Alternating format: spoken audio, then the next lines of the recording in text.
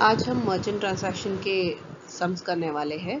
तो ये जो मर्चेंट ट्रांजैक्शंस हैं, ये मोस्टली कंपनीज़ में बहुत कॉमन है, क्योंकि आजकल की सब मल्टीनेशनल कंपनीज़ एक्सपोर्ट इंपोर्ट करती है अपनी technology good services and all तो यहाँ क्या है कि जब कोई भी कंपनी एक्सपोर्ट करती है दूसरे कंट्री में तो नेचुरली उनकी पेमेंट जो होती है फॉरेन करेंसी में होती है।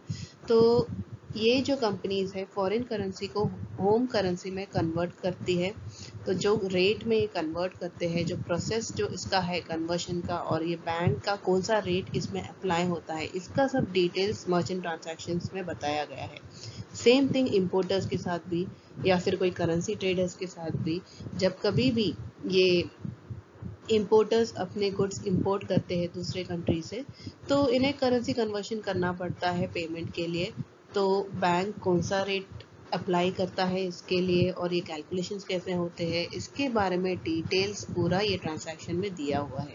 ये डिटेल्स समझना है तो हमें एक सम लेना पड़ेगा तो मैंने एक सिंपल सा सम लिया है और डिफरेंट डिफरेंट केसेस डाले हैं इसमें, जिसमें कन्वर्शन किया जाएगा।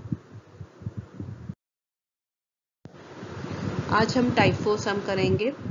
X limited company Mumbai based firm है और इन्होंने कुछ कंट्रीज़ के साथ ट्रांजैक्शंस किए हुए हैं।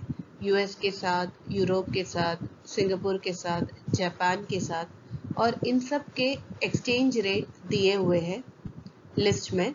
जैसे कि one dollar equal to sixty five bid rate और sixty five point seven zero ask rate दिया हुआ है। One euro equal to ninety eight bid rate दिया हुआ है ninety eight point three zero ask rate दिया हुआ है। One Singapore dollar equal to 43.50 bid rate दिया हुआ है 44 आस्क रेट दिया है 100 yen equal to 69 bid rate दिया है और 69.40 आस्क रेट दिया हुआ है। यहाँ हम अलग अलग सिनारियो लेंगे और हर सिनारियो में फॉरेन करेंसी कन्वर्शन कैसे किया है देखेंगे। तो सबसे पहले वाला सिनारियो हम लेते First question है firm receives dividend amounting to euro one lakh thirty thousand from its Spain associate company. अब यहाँ फर्म को डिविडेंड मिला है यूरोपियन कंपनी से one lakh thirty thousand euro firm Mumbai based firm है इंडियन फर्म है तो नेचुरली इसे इंडियन करेंसी में कन्वर्ट करना पड़ेगा।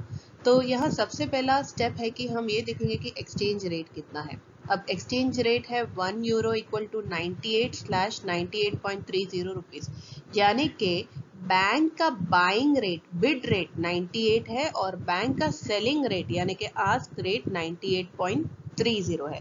तो अगर ये company one lakh thirty thousand euro लेके बैंक के पास जाती है तो बैंक यूरो खरीदेगी कितने भाव में? 98 रुपीस में। अब 98 रुपीस में खरीदने जा रहे हैं। तो one euro is ninety eight rupees तो one lakh thirty thousand euro में मुझे कितना पैसा मिलेगा? क्रॉस मल्टीप्लाई कर लीजिए तो आपको आंसर मिलेगा one crore twenty seven lakh forty thousand rupees यहाँ ये जो कैलकुलेशन है, बहुत ही सिंपल है. बस आपको थोड़ा सा कॉमन सेंस यूज़ करना है और आपको समझना है कि हमें इंडियन करेंसी में कन्वर्ट करना है. अपनी कंपनी इंडियन बेस्ड है और कौन सी करेंसी से आपको डील करना है, ये आइडेंटिफाई करना आना चाहिए। सेकेंड सिनारियो में फर्म ने जापानीज बैंक से पैसा बोरो किया है और जिसके लिए फर्म को एक लाख पचास हज़ार येन इंटरेस्ट के दौर में जापानीज बैंक को पे करना पड़ेगा। तो अब नेचुरली इंडियन बेस्ड कंपनी है तो कंपनी के पास येन पहले से तो रहेगा नहीं तो येन खरीदना पड़ेगा वो भी बैंक से। तो एक्सचेंज रेट सबसे पहले देखते कितना है। तो एक्सचेंज रेट ये बताता है कि 100 yen equal to 69 buying rate and 69.40 selling rate अब 69 बैंक का बाइंग रेट है और 69.40 बैंक का सेलिंग रेट है। फर्म को यहाँ येन खरीदना है तो बैंक को क्या करना है? येन बेचना है। तो जब बैंक बेच रही है और फर्म खरीद रही है तो हम लोग आस्क रेट अप्लाई करेंगे 69.40 अब 100 yen equal to 69.40 rupees. Therefore 1 lakh 50,000 yen equal to how much? Again आप क्रॉस मल्टीप्लाई करो तो आपको आंसर मिल जाता है एक लाख चार हज़ार एक सौ रुपये यानी कि फर्म यहाँ एक लाख चार हज़ार एक सौ रुपये बैंक को देगी एक लाख पचास हज़ार येन खरीदने के लिए। सिनारियो थ्री यहाँ फर्म ने गुड्स एक्सपोर्ट किया है यूएसए में और यूएसए ने तीन लाख डॉलर फर्म को दिया है पेमेंट के पे अब फर्म को ये डॉलर इंडियन रुपीस में कन्वर्ट करना है तो नेचुरली फर्म को ये डॉलर बेचना है।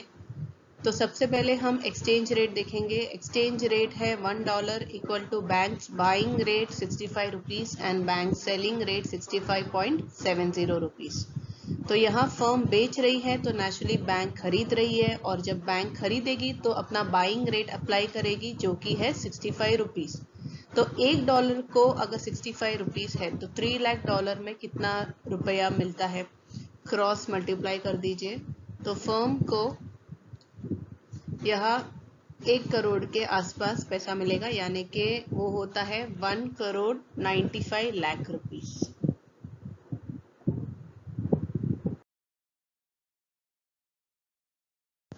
scenario three firm imported from Singapore dollar three lakh firm ने इंपोर्ट किया है कुछ गुड्स और जिसके लिए फर्म को सिंगापुर को पेमेंट करना पड़ेगा थ्री लाख सिंगापुर डॉलर अब एक्सचेंज रेट देख लेते हैं सबसे पहले। एक्सचेंज रेट ये बताता है कि one Singapore dollar equal to 43.5 buying rate 44 rupees selling rate यहाँ फर्म को डॉलर खरीदना है तो नेचुरली बैंक को डॉलर बेचना है। तो बैंक 44 रुपीज़ चार्ज करेगी. That is ask rate one Singapore dollar equal to 44 rupees therefore three lakh Singapore dollar equal to how much cross multiply करेंगे तो हमें आंसर मिल जाता है one crore thirty two lakh rupees यानी कि फर्म को बैंक को देना पड़ेगा one crore thirty two lakh rupees three lakh dollar खरीदने के लिए.